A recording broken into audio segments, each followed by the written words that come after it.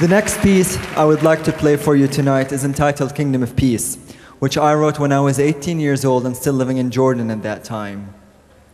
Whenever I play this composition, a vision comes to mind, and that's what I see from the terrace of my parents' home in West Amman, where from one spot you can see the light of Jerusalem to the right and the light of Amman to the left. As I'm sure you all believe, we can never ever give up hope on peace, regardless of how challenging it might appear to be from time to time. This composition is my personal prayer for peace in the Middle East.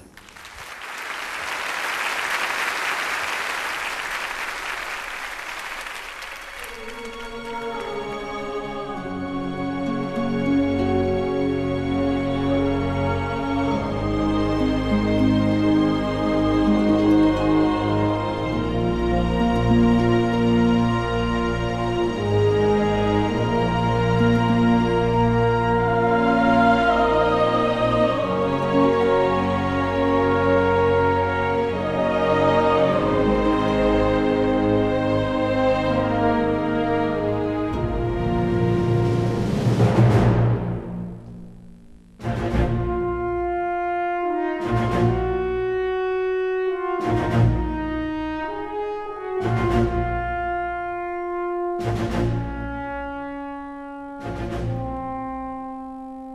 you.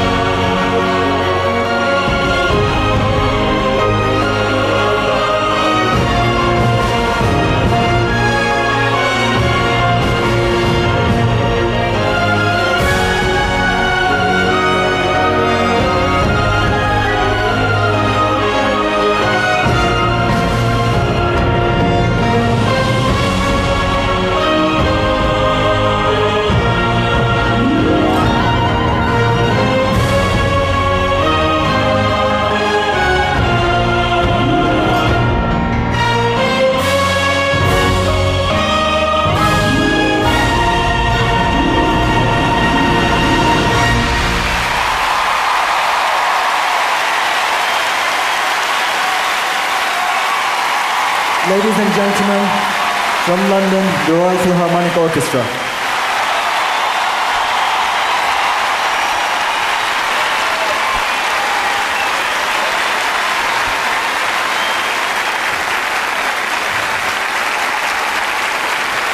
Tonight I've also been joined by some of the finest musicians from the world, from America, from Europe, from all over really. I would like all of our band to stand up, please.